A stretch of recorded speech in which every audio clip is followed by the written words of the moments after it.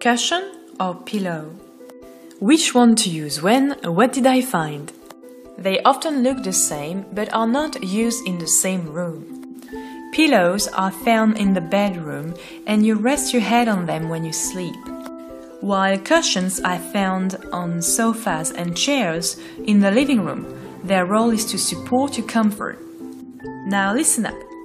No pillow allowed in the living room. Thanks for watching. Don't forget to subscribe, like this video, share it with all your friends, and keep it up till next time!